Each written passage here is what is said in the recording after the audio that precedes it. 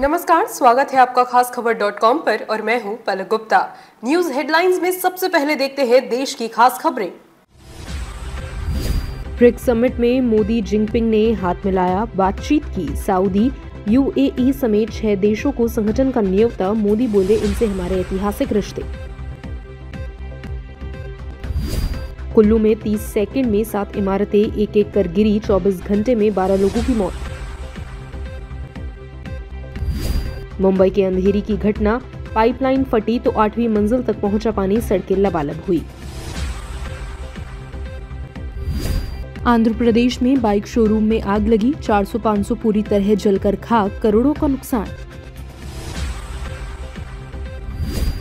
भारतीय कुश्ती संघ की सदस्यता रद्द, वर्ल्ड रेसलिंग बॉडी ने 15 जुलाई तक चुनाव नहीं करवाए जाने के बाद की कार्रवाई।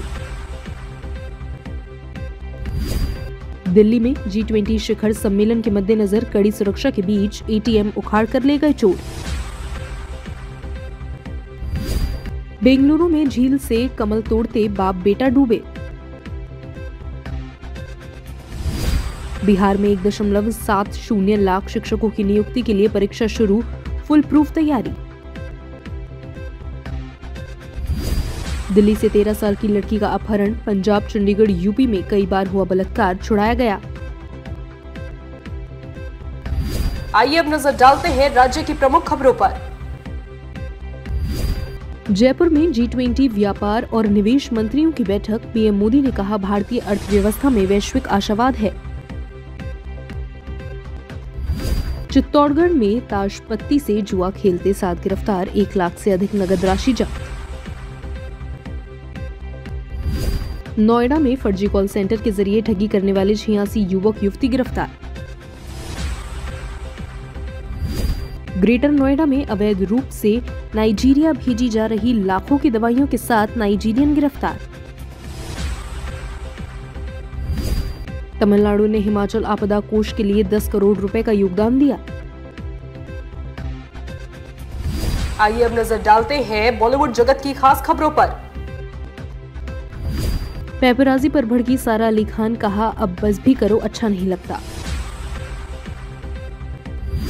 वैश्विक स्तर पर जेलर की कमाई के नज़दीक पहुँची गदर टू टूटा के टू का रिकॉर्ड।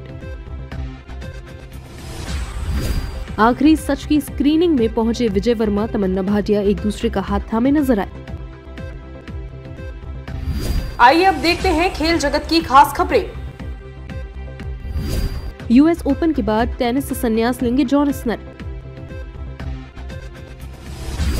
भारतीय पुरुष ब्लाइंड क्रिकेट टीम ने बांग्लादेश को हराया। महिला टीम ने ऑस्ट्रेलिया को एक रनों से पीटा। मेसी ने इंटर मियामी को यूएस ओपन कप के फाइनल में पहुँचाया। आइए अब नज़र डालते हैं कारोबार जगत की प्रमुख खबरों पर।